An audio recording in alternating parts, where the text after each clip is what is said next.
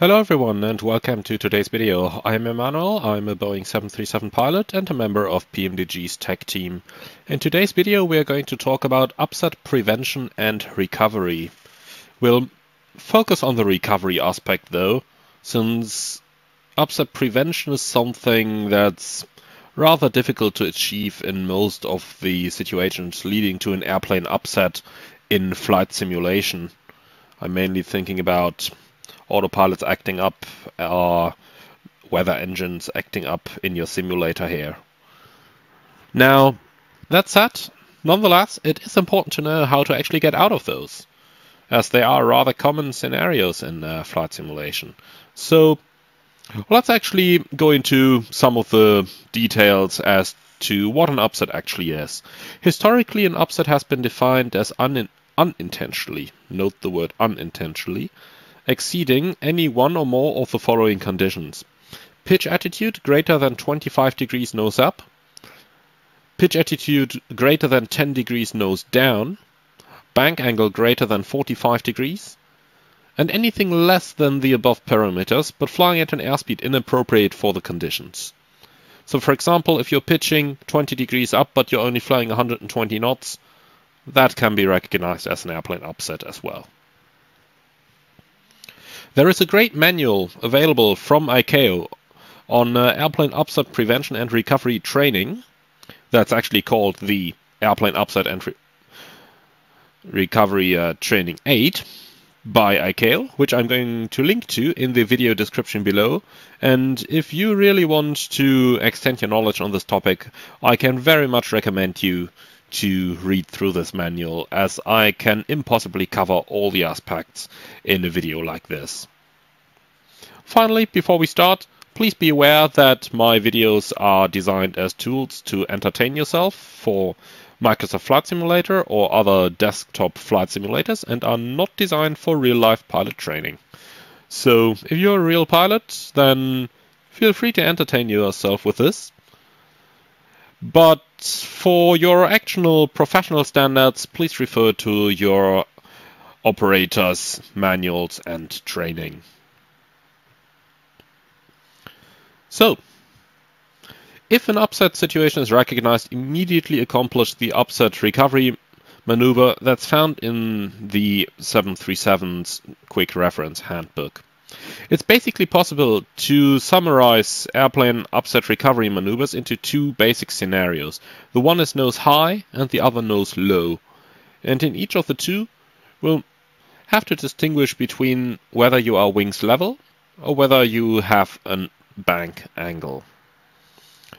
Now, I'm going to go into these in a moment, and we have to add one more scenario to the above, and that's the stall recovery.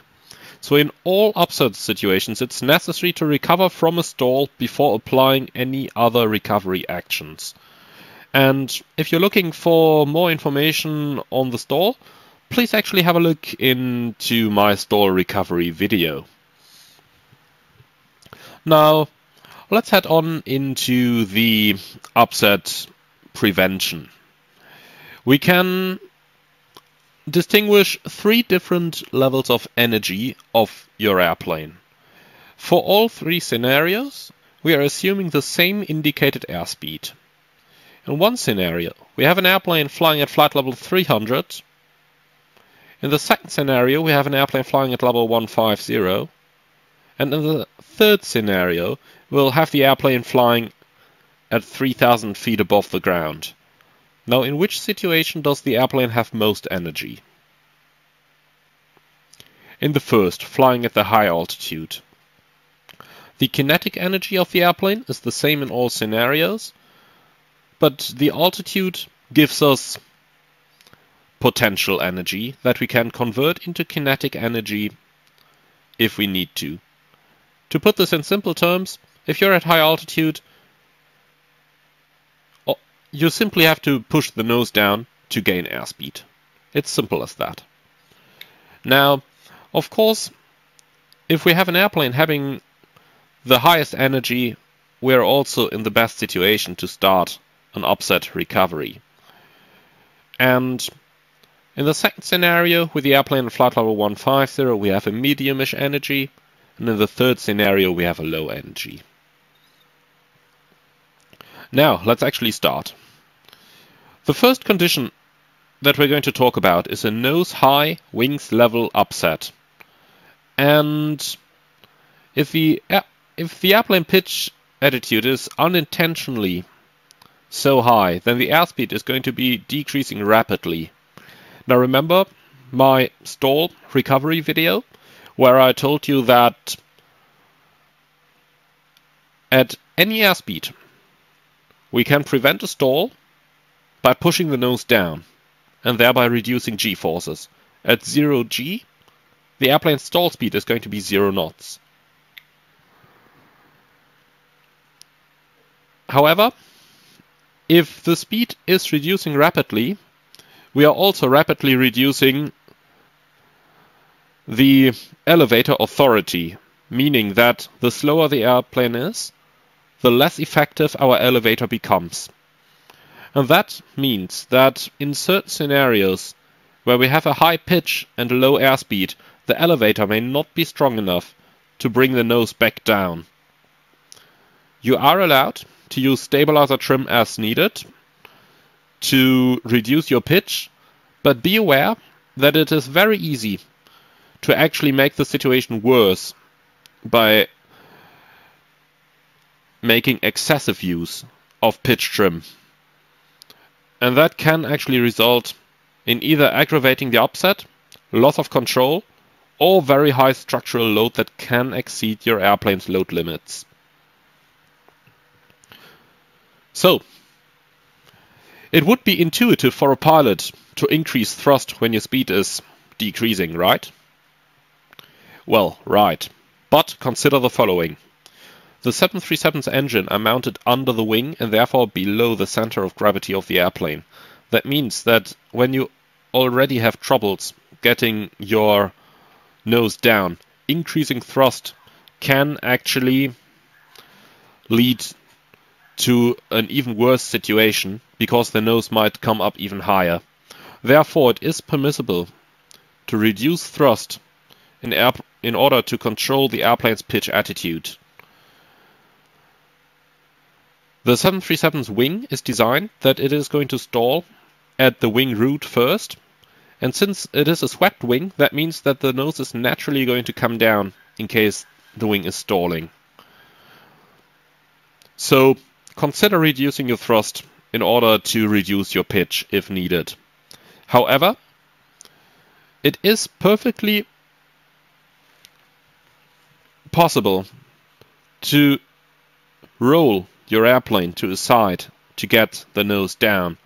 So if you have difficulties getting your nose down, consider rolling the airplane to anything between 45 degrees and 60 degrees of bank.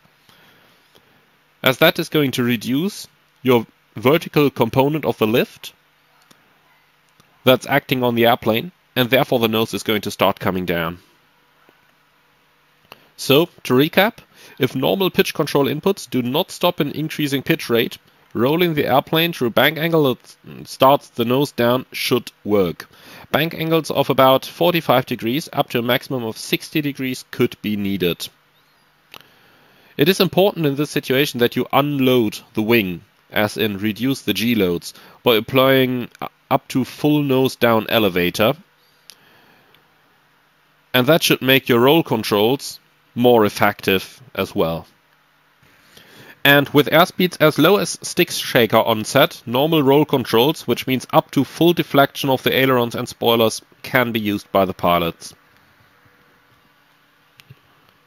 Try, however, not to reduce your rudder too much, because that bears the risk of actually inducing a spin, should your airplane stall at about the same time. Now, the second condition that we're looking at is a nose high, high bank angle upset. Now, the high bank angle, uh, sorry, the nose high, high bank angle upset requires deliberate flight control inputs.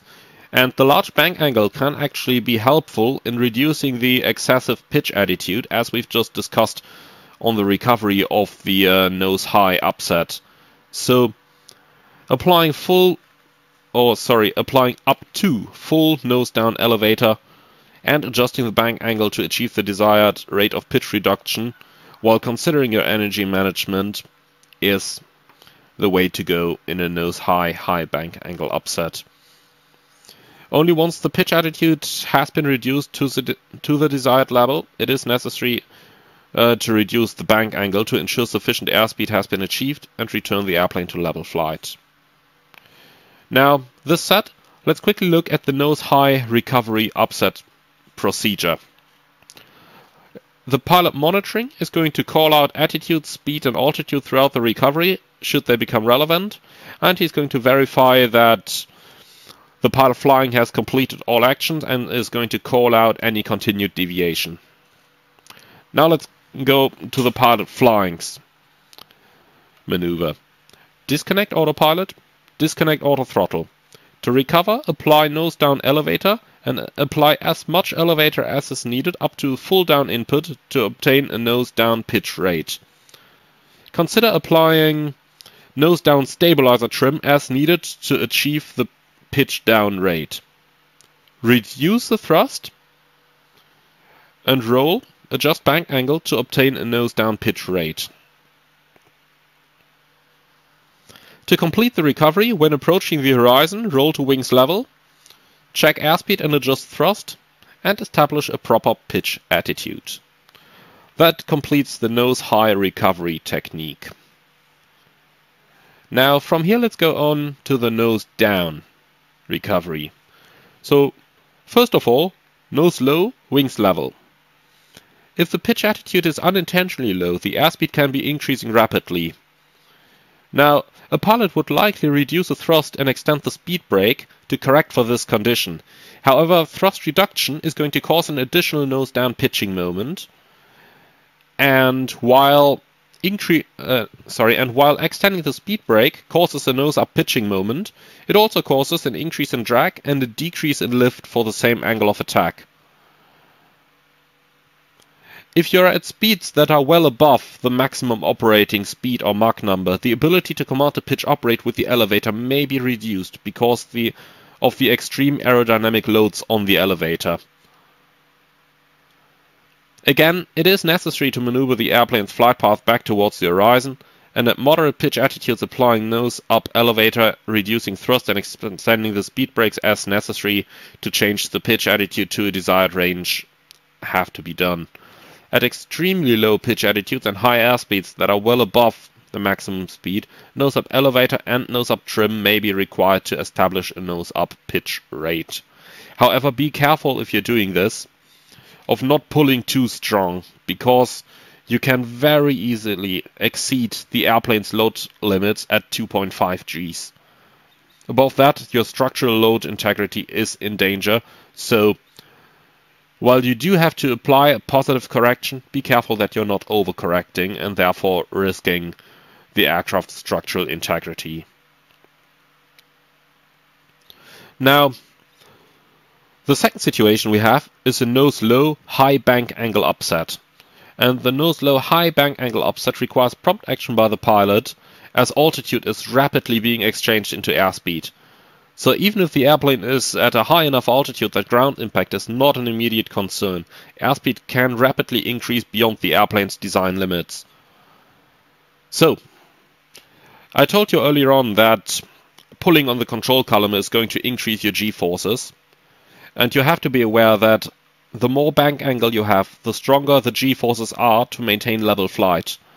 That means that with a nose low, high bank angle upset, it's imperative that we are going to roll the wings level and then apply our elevator. And be aware that you should increase your um, speed brakes as much as needed in order to keep the speed under control. However, do not extend the speed brakes beyond the flight detent. So, this concludes the four common upset scenarios. One last scenario we quickly have to talk about is high bank angles, but that's just a little bit of theory for you to keep in mind. So if the airplane is banked, so if it's not a zero angle of bank, the lift created by the wings is not being fully applied against gravity, and more than 1 g is required to maintain level flight. To give you some examples, at 30 degrees angle of bank to maintain level flight you need about 1.3 g's. At 60 degrees you need 2 g's. And from 67 degrees onwards, level flight cannot be maintained within the AFM load factor limits. So from 67 degrees angle of bank you cannot maintain level flight without exceeding airplane structural limits. Keep that in mind for the recovery situation. This said, let's actually get into the recovery techniques for the nose low recovery. And that is disengage autopilot and auto throttle and to, if needed, recover from a stall, then roll in the shortest direction to wings level and if the bank angle is more than 90 degrees, first unload the airplane, so push forward on the control column, and then start rolling back towards wings level. To complete the recovery, apply nose up elevator, apply nose up trim if needed, and adjust thrust and drag as needed. Now, all of the set, I'm going to give you some examples here on how to recover some upsets.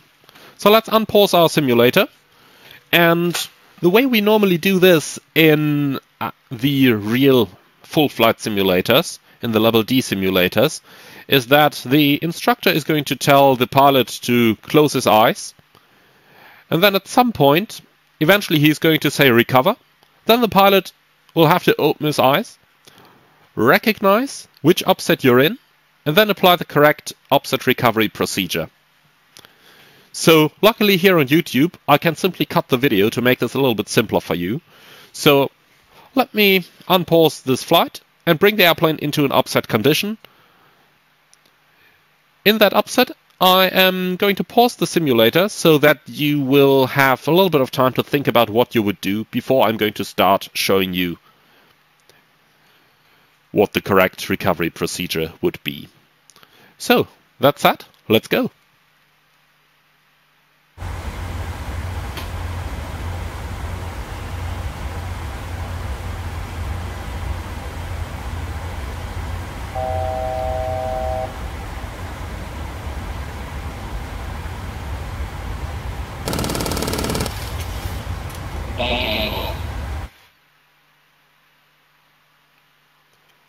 Alright, here we are.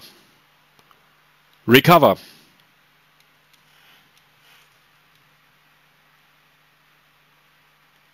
So, obviously, in this situation we are in a nose high, high bank angle upset. So, to correct for this, pitch down, and once we are at the horizon, we'll roll wings level, recover the airspeed as needed. Let's go bank angle.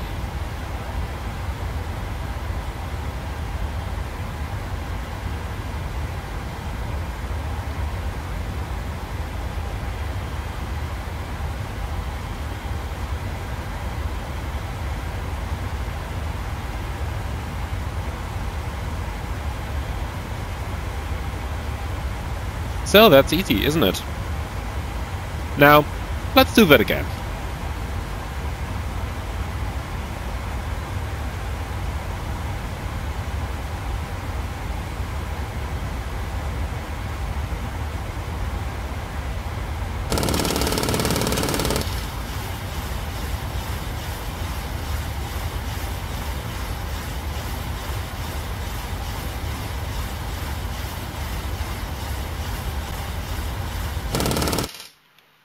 Now, the airplane is trimmed pretty tail heavy, so into a pretty strong nose up situation. Let's see if we can recover this just by using the elevator.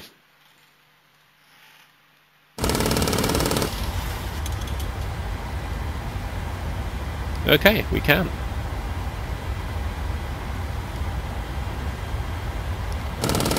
But note now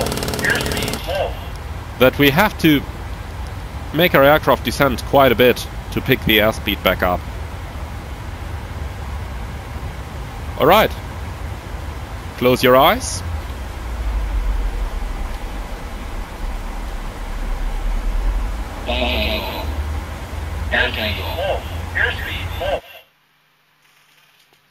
And open your eyes again. In which situation are we? We're in a nose low, high bank upset. And we do have thrust on. So, in this situation it's going to be pretty unavoidable to go into the overspeed. But let's try to make the best out of it. Here we go. Caution, terrain. Terrain, terrain. Pull up. Terrain, terrain. Pull up. Terrain, terrain. Pull up. Terrain, terrain. Pull up. Caution, terrain.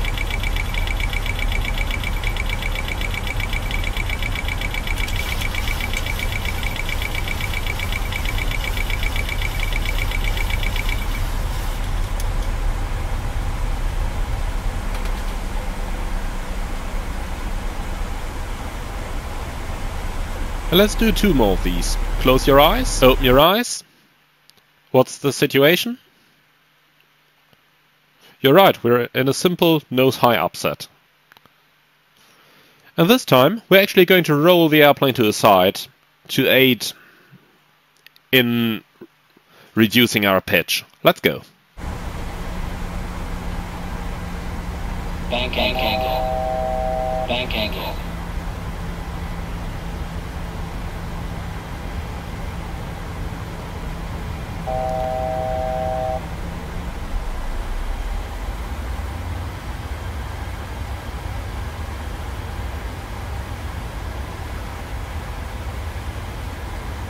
And be careful when you're pulling the airplane out of your dive, that you are not pulling the airplane into an accelerated stall there.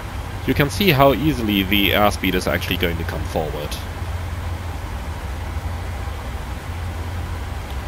Alright, one more situation for you. Close your eyes and recover. Low wings level, reduce thrust, speed brake. Terrain, terrain. Pull up. Caution, terrain. And we can slowly stow the speed brake.